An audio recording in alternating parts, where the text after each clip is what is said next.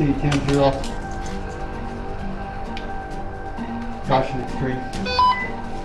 Kilo 1, copy.